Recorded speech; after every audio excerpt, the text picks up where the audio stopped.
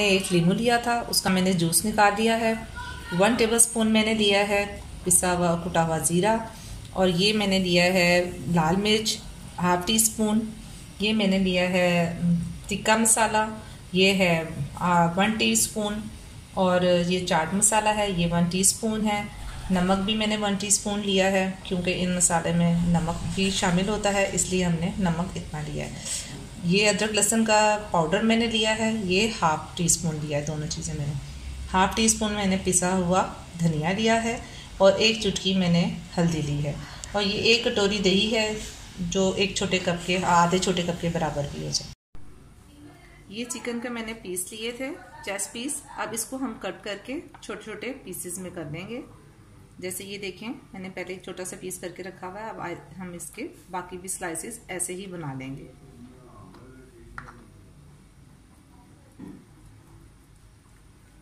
ये देखें, ऐसे।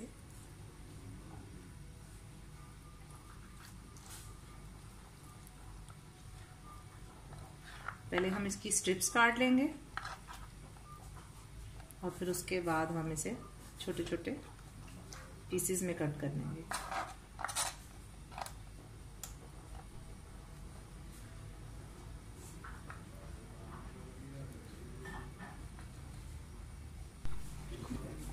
ये देखें, चिकन को हमने छोटे छोटे क्यूब्स में काट लिया है। अब हम ये तमाम चीज़ें जो हमने मसाला जाकर लैदा करके रखे थे, अब वो हम इसमें शामिल कर देंगे। ये हम पहले डालते हैं इसमें दही।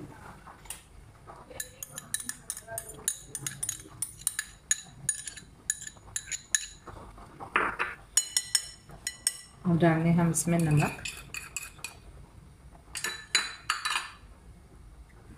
हल्दी और सूखा धनिया। चाट मसाला।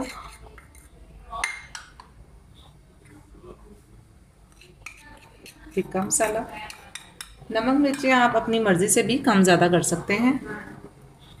अदरक लहसुन पाउडर। टूटा हुआ ज़ीरा। लाल मिर्च। अब हम इसे मिक्स कर देंगे।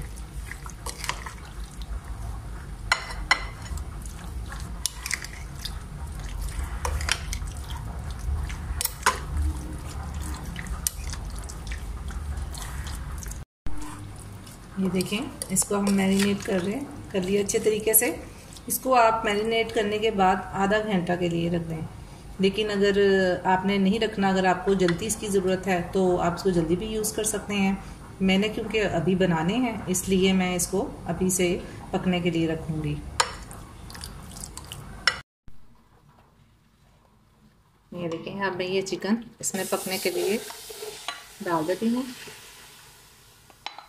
ऑयल अभी इसमें हम नहीं डालेंगे, क्योंकि हमने इसमें दही डाला हुआ है, दही अपना पानी छोड़ेगा।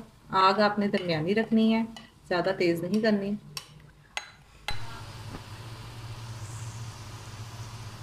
ये देखें अब हमारा चिकन ड्राई हो रहा है। अब इसमें हमने वन टेबल स्पून ऑयल का डाला है। इसमें ज़्यादा ऑयल आपने नहीं शामिल करना।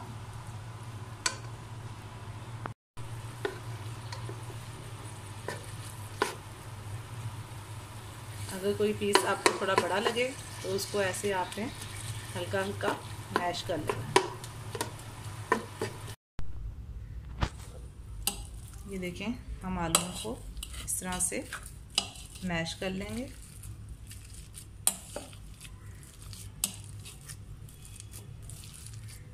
हाँ जी।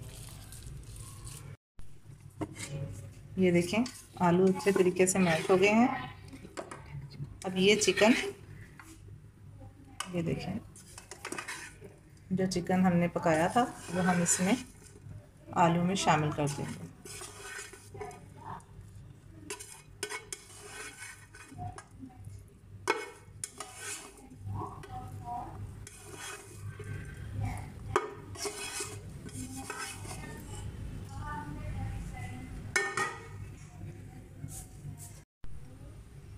अब ये हमने धनिया लिया है और ये पुदीना हमने इसको अच्छी तरह से काट लिया है। अब ये धनिया और पुदीना जो हमने डाला था और चिकन, अब इसको हम अच्छी तरह से इसमें मिक्स कर लेंगे आलूओं के साथ। अब कबाब को कोटिंग करने के लिए हमने ये मैदा लिया है और इस मैदे में हम नमक डालेंगे और थोड़ा सा चाट मसाला डालेंगे ताकि इसमें टेस्ट आ जाए।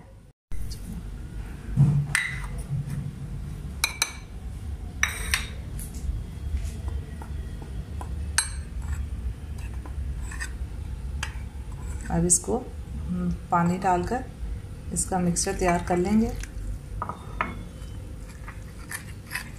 और जिस तरह का बैटर हमें चाहिए होगा, उतना हम इसको रेडी कर लेंगे।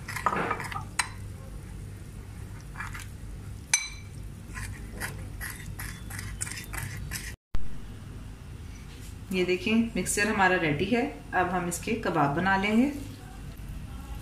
ये देखें। कबाब आपने अपनी मर्ज़ी से इसका साइज़ बना लेना है, जितने आपको पसंद है।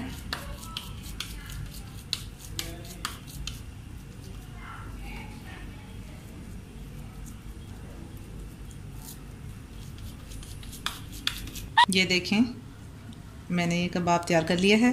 अब मैं इसमें डिप करके, अब मैं ये ब्रेड क्रम्स लगाऊँगी। ये ब्रेड क्रम्स मैंने घर में बनाए हैं। मैं आपको नेक्स्ट वीडियो में ज़रूर बताऊँगी कि ये ब्रेड क्रम्स मैंने कैसे तैयार किए हैं घर में। आप भी इसी तरह से इसे घर में तैयार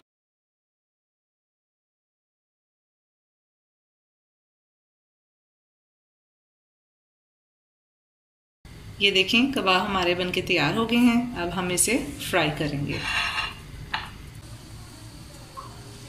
ऑयल हमारा गर्म हो गया है। अब हम इसमें कबाब फ्राई करना शुरू करते हैं।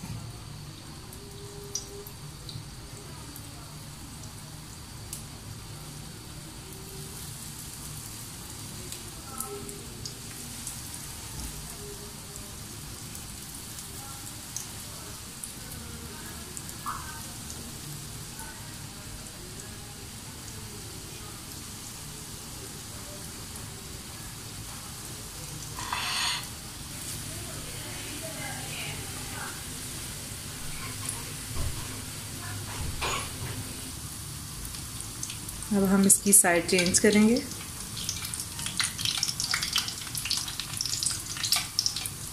अभी ये हो रहे हैं। अभी इन्होंने अपना थोड़ा थोड़ा कलर चेंज किया। जब ये लाइट गोल्डन हो जाएँगे तो फिर ये रेडी हो जाएँगे। बहुत ज़्यादा आपने इसको पकाना नहीं है।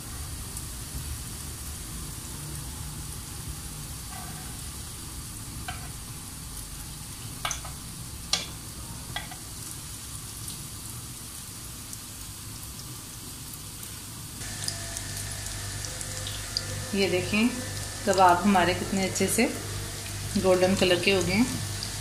अब हम इसे प्लेट में सर्व करेंगे।